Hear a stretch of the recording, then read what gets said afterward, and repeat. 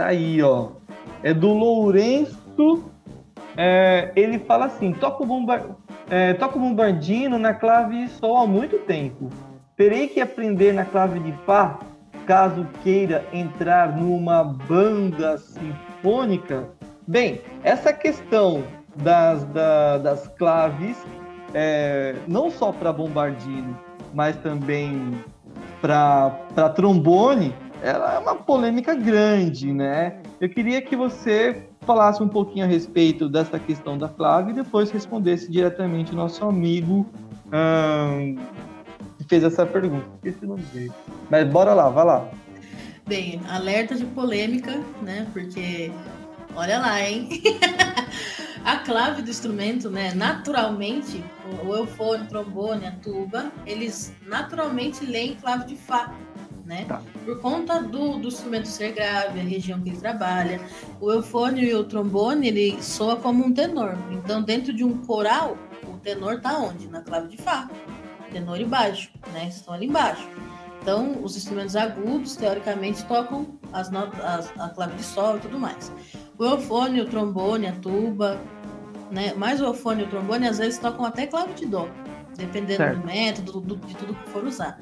Então, aqui no nosso Brasilzão, a gente tem uma mistura de tudo, né? Tem um pessoal que lê clave de Fá transpondo, tem clave de Sol transposta, tem clave de Sol injusta, tem clave de Sol igual trompete. É uma loucura. E tudo tá certo. Certo. tudo tá certo. O que, é, sabe por que, que tudo tá certo? Porque ah, tudo, de, tudo depende de aonde você toca e como você toca, para que você toca.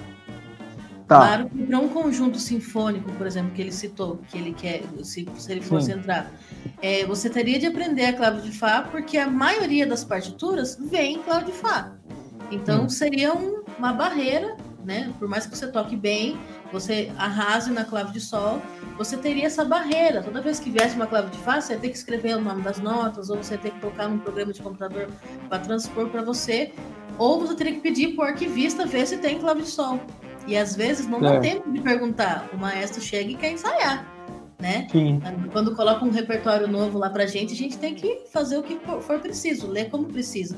Então, as claves, elas têm que ser tratadas como se fossem idiomas, né? A clave de sol, se o meu instrumento, o meu instrumento é grave, né? Então, eu tenho que ler a clave de fá, é a minha matriz, como se fosse português. A clave de sol hum. vai ser o, o inglês, a clave de dó o espanhol, né? A gente se vira ali.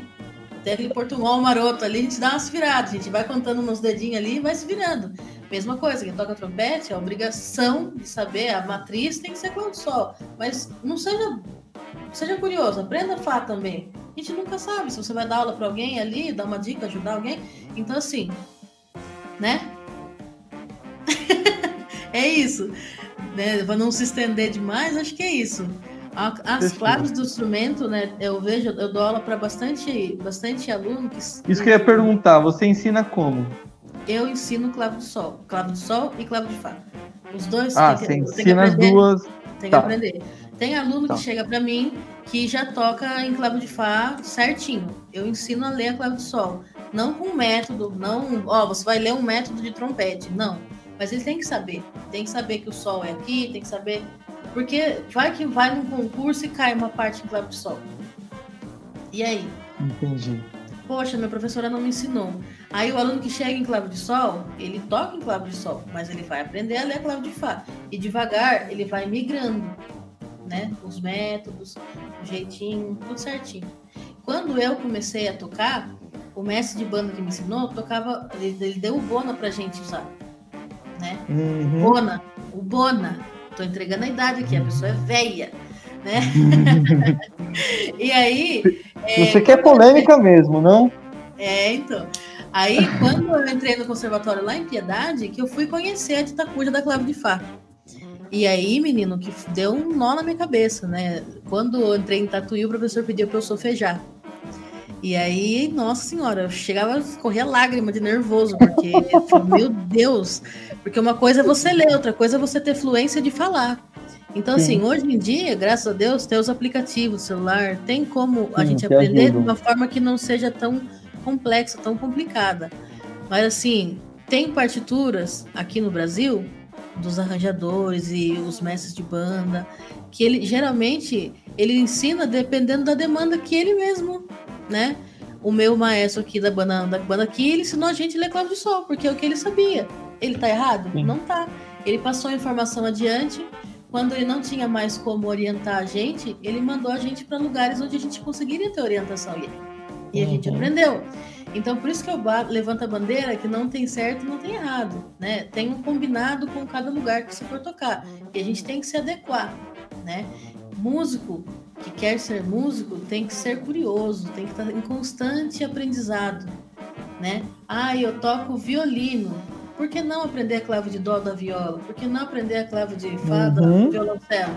Não, não que você vá ficar tocando, mas para você bater o olho e você saber do que está fazendo, né? Vai que um dia você queira trocar de instrumento, aí tem que aprender tudo de novo. Então, Sim. por que não aprender? Aprendeu? Teve influência no seu? Aprende um pouquinho, olha. Olha para a casa do vizinho, vê se precisa de ajuda. Né? Então, é muito importante. Já teve casos na banda sinfônica de, de vir partitura em clave de sol. É muito Sim. raro. É muito raro. Porque a maioria do material vem dos Estados Unidos, ou vem da Inglaterra, vem da Europa, vem de tudo quanto é lugar. Então, culturalmente falando, o nosso instrumento já lê em clave de Fá, deveria ler. Mas às vezes acontece de vir em clave de Sol. E aí? Como é que faz? Então, por isso que eu digo que tem que ter. Você tem que estar preparado. Tem que estar preparado para tudo e para tudo. Legal. oh, espero, ter, uma, espero ter, ter, ter respondido da melhor forma sem causar alvoroço. Tem uma, uma, uma observação aqui que eu queria colocar da Marisa, ela meio que se entrega que é baiana, que é da Bahia, ela coloca que, assim, as fanfarras, na sua maioria aqui na Bahia, trabalham uma clave só, a clave de sol. Sim. Aí. Aí, é... aí volta no que eu estava falando, que é o combinado, é o combinado de cada lugar, né? Então, em grandes conservatórios, grandes faculdades, grandes escolas, os alunos que são do naipe de Lobrez aprendem a clave de Fá, porque é, é, a matriz do nosso instrumento. Mas o pessoal que toca clave de Sol não está errado, está tocando. O que importa é a gente saber o som, a produção do som, saber que o nosso instrumento não é um instrumento que transpõe o si bemol do piano, é o si bemol do eufone, e é isso. Né? É saber que aqui é Fá, não é Sol. Essas coisinhas que a gente só precisa entender e como você vai ler, não tem problema. O que importa é ler e fazer música, se divertir com isso. se não vir um Legal. tabu todo, né? E aí fica, tá certo, tá errado, tá certo, tá errado. O certo é fazer música. Pronto. Legal, legal.